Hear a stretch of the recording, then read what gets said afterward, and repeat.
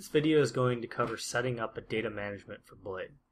A data management is going to hold all of your saved files into a specific folder structure. It's important to have one set up before you start any calibrating or capturing. Let's open Blade and create a new data management. If this is the first time you have opened Blade, the layout should look just like mine. This is the default layout. In order to set up a data management, we need to open the data management editor. You can do this by hitting F2 or by going to the top left where the main button is. At the bottom you will see Data Management. Once the Data Management Editor is opened, we need to create a new database.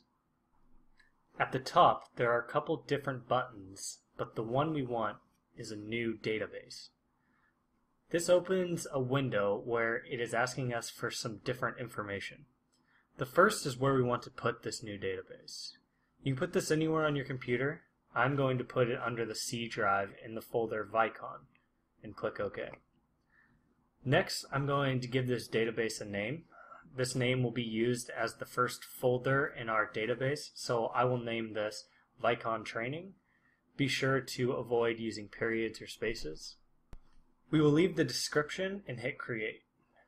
Now, another window will be opened that asks us to open a database. When you have multiple databases created on a computer, you will see them in this window. We want to open the one we just created. In our data management editor, we have what looks like a blank Excel sheet. This means we are in a database, but there isn't anything in it yet. We need to create a new project within this database. Right-click inside the Data Management Editor and go to New, Project. Name the project whatever you want. I'm going to name this Tutorials. After we have a project, we need to have a capture day. You may have a project where you do your capturing over a span of a couple of days or more. It is good to have this separated out for when you want to begin working on your captured files. Right-click on the project and go to New Capture Day. I'm going to leave it as is, but you can change this to whatever you like.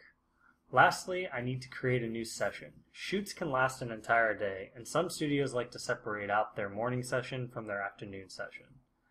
To create this, right-click on Capture Day and go to New Session.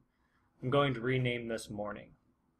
You have now properly set up a database and are ready to calibrate and capture with Blade. Thanks for watching. If you have any questions, please email support at vicon.com.